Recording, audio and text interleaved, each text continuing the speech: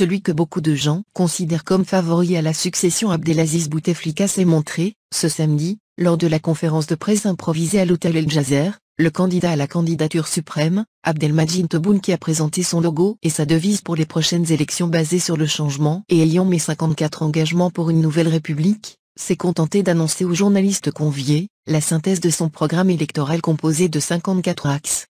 Parmi ces 54 points la révision et le remaniement en profondeur de la Constitution.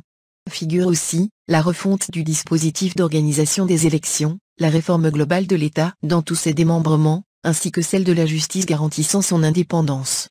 Le programme du candidat Tebboune concerne aussi la liberté de la presse, son pluralisme et son indépendance.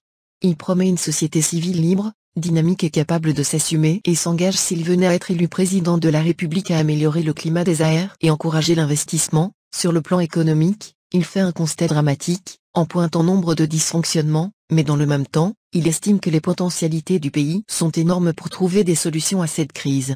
Il y a de l'argent, je sais où le trouver et où l'investir, a-t-il indiqué en assurant que l'opération de lutte contre la corruption engagée par le ministre de la Justice se poursuivra, s'il est élu président de la République et que l'argent volé sera bien rapatrié.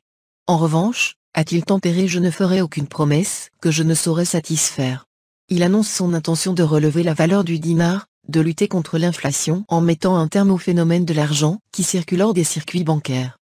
Tobun promet également d'exonérer de tout impôt les salaires inférieurs à 30 000 dinars et de régler définitivement les problèmes de trésorerie de la Caisse nationale de retraite.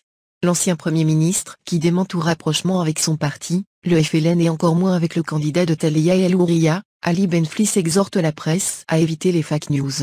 Toboun qui se dit ouvert à toutes les couches populaires qui souhaitent le soutenir exclut, cependant, ceux qui militent pour le compte de courants étrangers ainsi que ceux hostiles aux constantes nationales.